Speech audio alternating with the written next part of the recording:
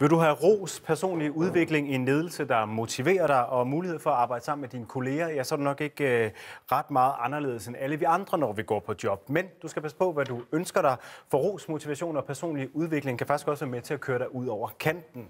Det mener du i hvert fald, Christian Ørsted. Det må du lige forklare, hvordan hænger det sammen?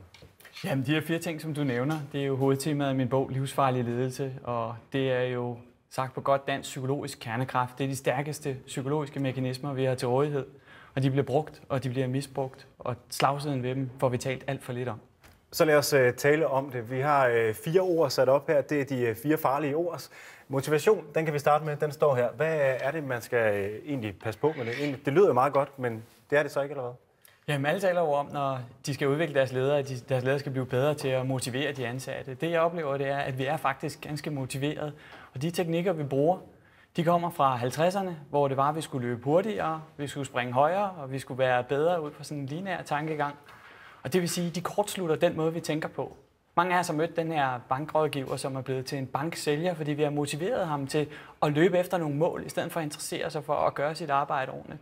Så hvis og tragedien er, at han sælger faktisk dårligere ved at tænke på den måde. Men er vi ikke nødt til at også være en lille smule motiveret for at overhovedet gide at gå på arbejde?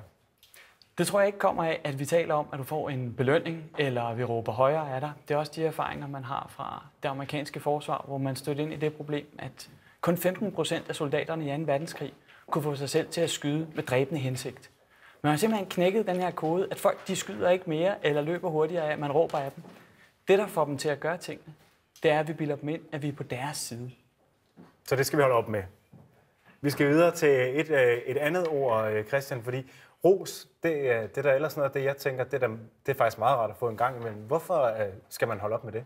Jamen, altså det er jo der, vi får den værste ledertype ind. Det er den her leder, som bilder dig ind, at han er på din side, men i virkeligheden så interesserer han sig ikke en døjt for dit arbejde. Han siger ofte, hvor er du dygtig, hvor er det godt gået, men han interesserer sig ikke for at fortælle dig, hvad det er, der skal til for at nå det næste niveau. Kvinder støder især ind i det her, fordi de er berøringsangst til de her ledere. vil ikke fortælle dem, hvad opskriften er for at komme frem.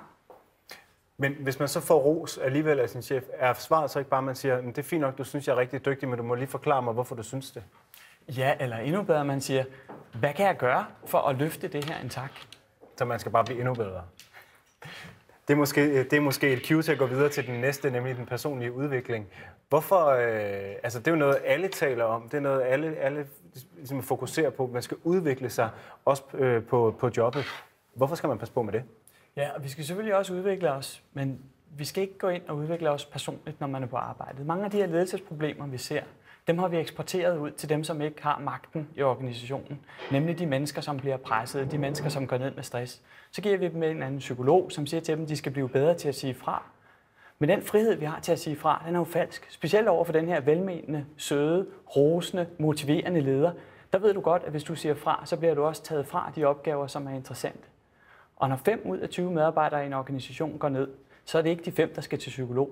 Så er det den leder, som har ansvaret for deres liv, som skal videre til en psykolog og lære noget om, hvad det er, han har med at gøre. Bum, så fik han den. Nå, vi skal lige omkring det sidste også, øh, øh Christian, nemlig øh, teamwork. Og altså, er det ikke sådan, at man plejer at sige, at to hjerner, de øh, trods alt øh, tænker bedre end en? Jo, og det kan de jo også. Medmindre vi laver klassisk teambuilding inspireret af de metoder, som man har haft i militæret, eller de metoder, som man bruger i al-Qaida til at få folk til at tro, at de brænder for en eller anden højere mening. For der får vi lige pludselig kortsluttet folks selvstændige tænkning.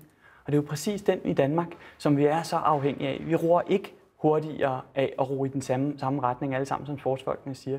Vi roer faktisk hurtigere og kommer bedre sted, hvis det er, at der er plads til, at vi er uenige om tingene, plads til, at vi kan inspirere hinanden, og plads til, at vi er forskellige lige det der med at ro hurtigere i utakt, det tror jeg, der er nogle roer, der vil være uenige med dig i. Men, øh, øh... Jamen, jeg tror også, at det er mere komplekst at være på en dansk arbejdsplads, end det er at sidde i en robåd. Og det er den misforståelse, der er snedet sig ind i ledelse. De her redskaber er enormt kraftfulde og kommer over fra militæret og sportens verden, hvor vi har et simpelt mål, vi sigter på.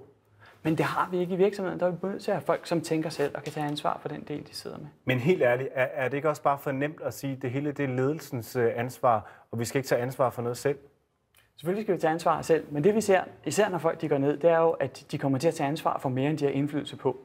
Og derfor så er vi nødt til at kigge på, om vi har en ledelse, som faktisk giver folk et større ansvar end indflydelse. Og der er to løsninger på det. Det ene det er simpelthen at lade indflydelsen følge med, og ressourcerne følge med, så man har en mulighed for at gøre sit job ordentligt. Og den anden vej, det er at råbe vagt i gevær. Og det er derfor, jeg har skrevet bogen, for jeg kunne godt tænke mig, at nogle af de mennesker, som oplever de her ting, og for at vide, at nu skal de udvikle sig, de skal gøre det anderledes, de skal være mere motiveret, at de kan se, at de er altså ikke alene. Det her det er nogle ting, som vi alle sammen kommer til at gøre. Det er nogle ting, som vi alle sammen bliver udsat for. Og det er nogle ting, som vi alle sammen har et ansvar for at blive bedre til at passe på hinanden omkring ved at tale om det. Og det er så opskriften på at komme af med den livsfarlige leder? Jeg tror ikke, at det er nok gjort med at tale. Vi skal også have sat handling bag. Vi må øh, se, hvad der sker. Nu er opfordringen i hvert fald givet videre. Tak fordi du kom her, Christian. Tak fordi jeg måtte komme.